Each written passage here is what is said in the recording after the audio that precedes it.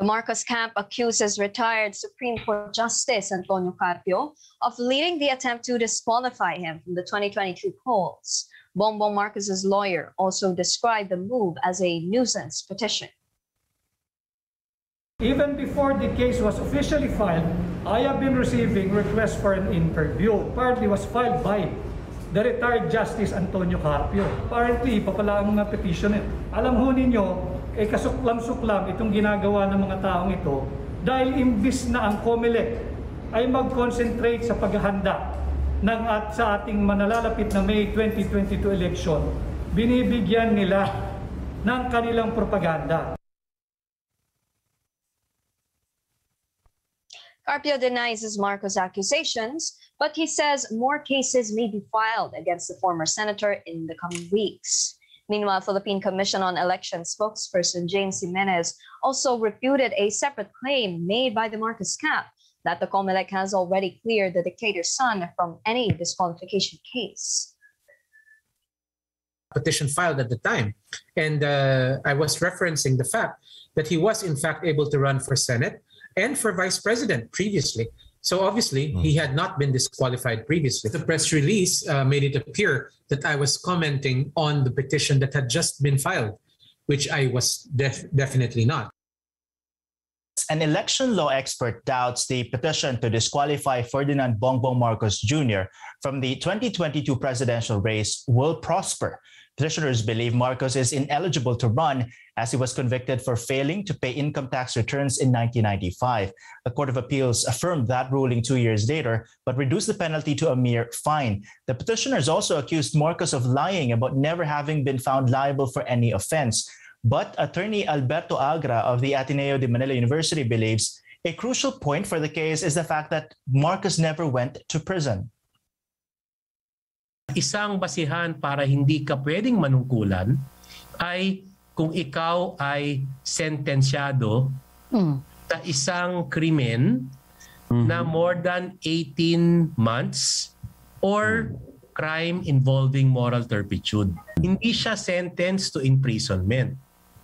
Ang nangyari, siya ay nahatulan pero ang kanyang parusa ay walang imprisonment. Ang parusa niya ay fine lamang. Pag hindi ka lang nag-file or peke ang iyong final, hindi yon crime involving moral turpitude dahil wala namang fraud.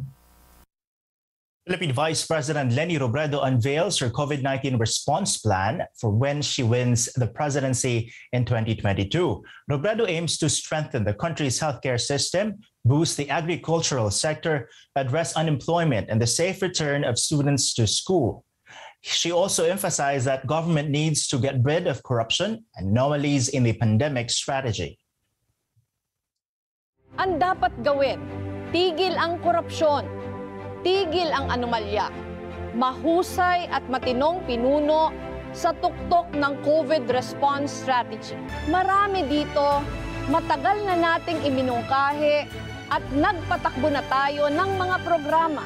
Panahon na para maipatupad ang mga ito ng malawakan para higit nating mabawasan ang pagdurusa at pagluluksa. But for another presidential candidate, the solution to ending the COVID 19 pandemic in the country is simple.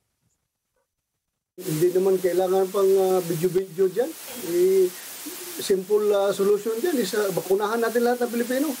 Mag-produce tayo ng mga kwan, ng uh, enough vac- vaccine supplies para mabakunahan ang lahat. Yun lang naman nakikita ko.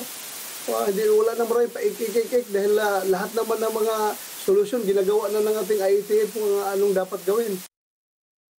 Manila Mayor Francisco Isco Moreno Domagoso gained support from his for his presidential bid from former cabinet members and industry leaders. On Wednesday, Moreno met with some of the secretaries of former Philippine presidents Gloria Macapagal Arroyo, Fidel Ramos, and Corazon Aquino, as well as heads of agricultural groups. They discussed Domagoso's agricultural and economic plans.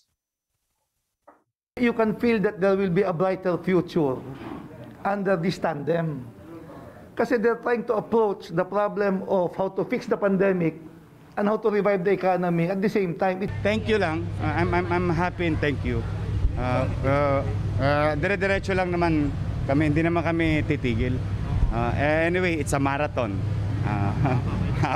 Sabi ko nga, thank you. Eh, eh, welcome po kayo. Kailangan ko po ng maraming tulong.